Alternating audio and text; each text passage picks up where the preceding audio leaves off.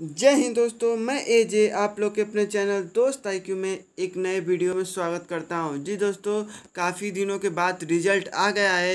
अब हम लोग बात करेंगे कि डॉक्यूमेंट्स वेरिफिकेशन में क्या प्रोसेस होता है। जी दोस्तों, आप लोग के बहुत ज़्यादा कमेंट आ रहे थे।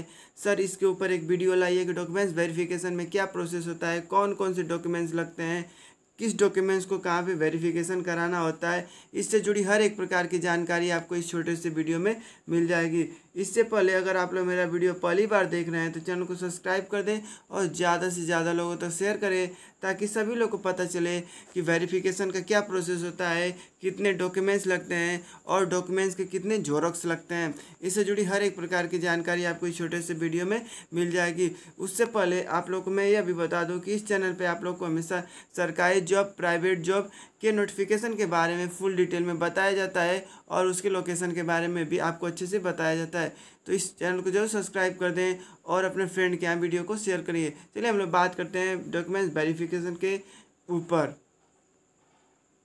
चलिए दोस्तों, बात कर लिया जाए फ़र्स्ट नंबर डॉक्यूमेंट्स की। फ़र्स्ट नंबर डॉक्यूमेंट्स में बात की जाए तो हाई स्कूल का मार्कशीट लगेगा, यानी कि क्लास टेंथ का मार्कशीट लगेगा, जिसके थ्रू आप लोगों ने उस फार्म को अप्लाई किया था, जिसके थ्रू आप लोगों का सिलेक्शन हुआ है। अगर आपके पास इस समय प्रेजेंट टाइम में मार्कशीट नहीं है तो आप लोग अपने कॉलेज से जाइए और मार्कशीट निकलवाइए। अगर मार्कशीट गुम हो गई है तो आप लोग किसी साइबर वाले के पास से निकलवा लीजिए अच्छे से और उसका अच्छे से वेरिफिकेशन करवा के अपने पास रख लीजिए। अब बात की जाए, इसके कितने कॉपी लगेंगे? जिस दोस्तों, सबसे ज़्यादा यही माइंड में हम लोग के चलता है, इसकी कितने कॉपी लगेंगे। कॉपी की बात की जाए तो यहाँ पे आपको दो कॉपी लगेंगे, यानी कि एक ओरिजिनल होगा और इसके दो कॉपी लगेंगे। यानी कि टोटल आपको यहाँ पे तीन डॉक मतलब तीन कॉपी आपके पास यहाँ पे रखनी है। चलिए हम लोग बात कर लेते हैं अब सेकेंड नंबर डॉक्यूमेंट्स के ऊपर।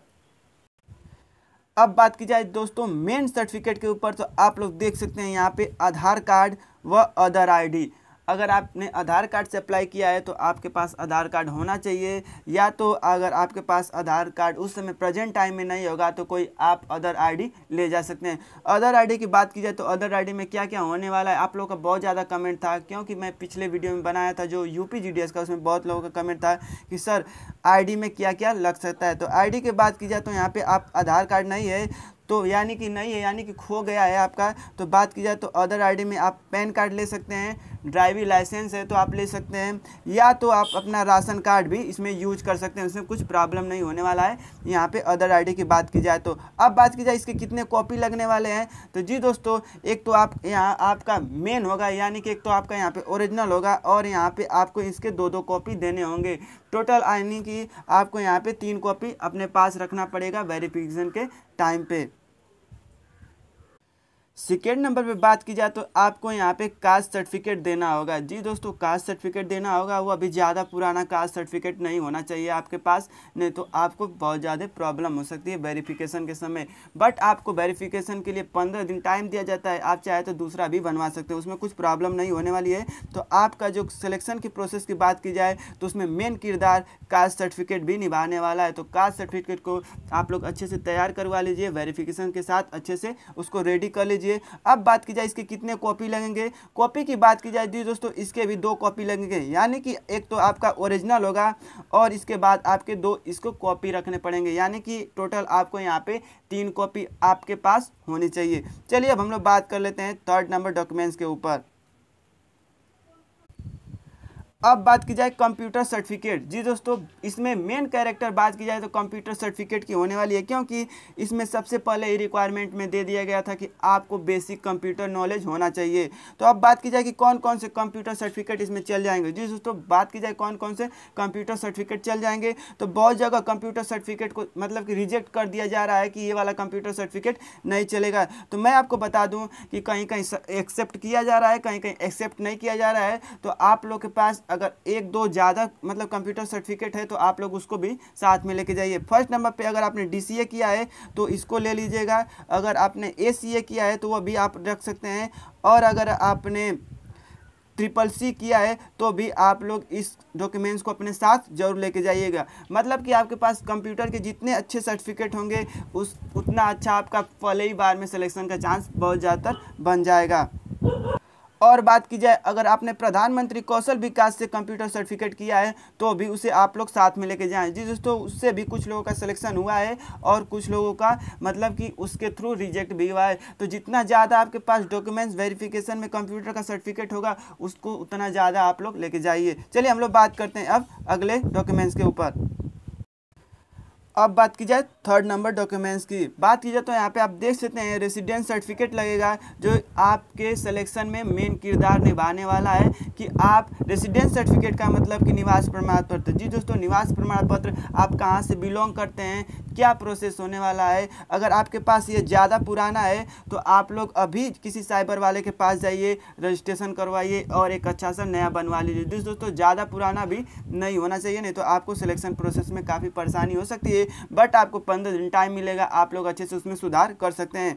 चलिए अब बात की जाए कि इसके कितने कॉपी लगेंगे। कॉपी की बात की जाए तो आपको या तो एक ओरिजिनल होगा और इसके आपके दो कॉपी देने पड़ेंगे। जिस तो या तो एक ओरिजिनल आपके पास पर्सनल होगा और इसके आपको दो कॉपी चाहिए। यानी कि टोटल आपको यहाँ पे तीन कॉपी लगने वाला है।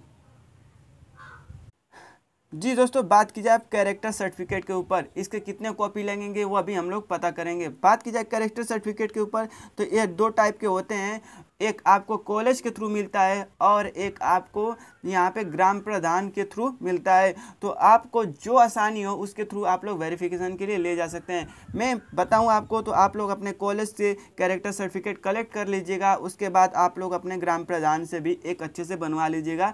दोनों कैरेक्टर सर्टिफिकेट आपके पास होने चाहिए। अब बात की जाए इसके कितने कॉपी लेंगे। कॉपी की बात की जाए तो आप लोग दोनों के दो दो कॉपी रख लीजिएगा। जिस दोनों के दो दो कॉपी रख लेंगे, जिससे आपको सिलेक्शन वेरिफिकेशन प्रोसेस में प्रॉब्लम नहीं होगी। तो आप लोग इसके दोनों के दो दो कॉपी रख लीजिए। बात की जाए तो एक ही सर्टिफिकेट से आपका काम हो जाएगा। बट दोनों रहेंगे तो आपको कुछ प्रॉब्लम नहीं होने वाली है।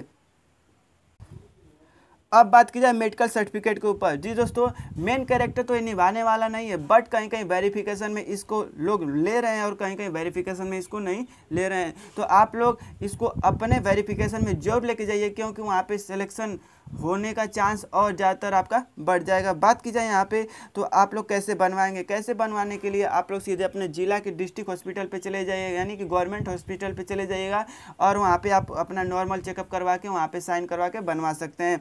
बात की जाए इसके कितने कॉपी लेंगे तो इसके आपको तीन कॉपी चाहिए। जिस तो एक तो ओरिजिनल इसका होना चाहिए और इसका आपको तीन कॉपी पास में होने चाहिए, जिससे आपको और सिलेक्शन में और आसानी प्रोसेस हो सकता है। चलिए हम लोग बात करते हैं नेक्स्ट डॉक्यूमेंट्स के ऊपर।